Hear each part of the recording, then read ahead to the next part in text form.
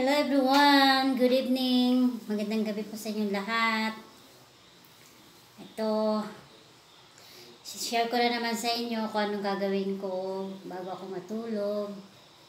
Um, gusto ko pong share sa inyo na ito na naman ang ininom ko. Yan.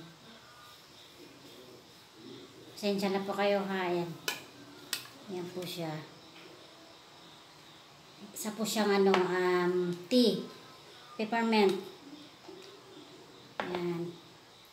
Kasi po kapag kagabi, alam niyo na po, yung kumakain tayo ng sobra, busog. So, ito po. Ito po yung aking iniinom, yung aking peppermint tea. Yan. Kung di bagong bigay, padala naman sa akin ng aking ano, asawa, aking mahal. Yan. Tapos, yung aking anak ay busy-busy sa pag-aaral naman. Kaya, ito, buti nakapag, ano pa ako, nakakapag-upload pa ako, maya-maya pa siya mag-ano. Magandang gabi sa inyo lahat. Share ko lang po sa inyo, try nyo pong uminom na ito, napaka-organic po. Yan. Minsan po, um, magbablog ako ng ano, lahat ng tea ko. share ko lang po sa inyo para kung meron pa kayong flavor na gusto, pwede po kayong uminom nun. Or kung ano magugustuhan yung mga tea, try nyo din po bumili, tapos uminom po kayo kasi napaka-organic po talaga. Ito, katulad po nito, ano siya, mint siya. Alam niyo po yung pag kumain kayo ng double mint. Ganun po ang lasa niya, matamis na menthol. Masarap yung lasa niya. Try niyo po. Mm. Matamis siya. Hindi mo na kailangan, yung iba kasi naglalagay ng asukal eh. Sugar. Lalagay ng sugar yung iba. Pero ito, hindi mo na kailangan lagyan kasi as in, alam mo may sugar na siya. Ito po yung ano niya. Bakit nga nalagayan niya yun. Kaganda. So, pag naubos siya, double purpose. Pwede niyo po lagyan ng mga stock niyo po dito. Ayan. Ito po siya. Dito ko na rin nilagay yung may extra pa ako sa naman. Ayan po siya. Ito yung naman ng tea. Yan. Yan po siya. Kaya niyo po minsan. Yan po. Yan.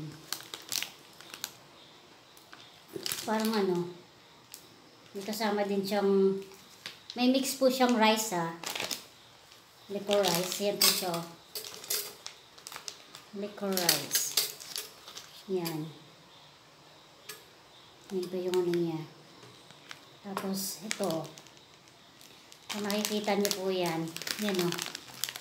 Yan po. May ano siya. May mga nakanong rice. Tapos yung mint. Ito po siya. Try niyo po minsan.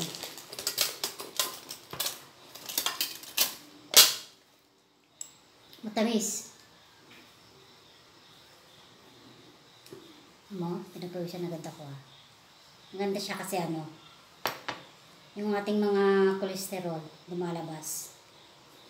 Um, kanya-kanya naman po tayong ano eh, kung ano lang po yung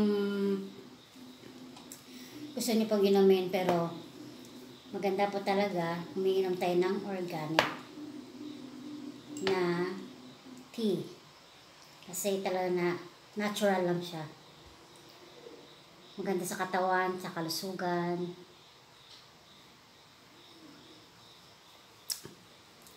Piling ko kumakain ako ng ano, chiclet, chewing gum.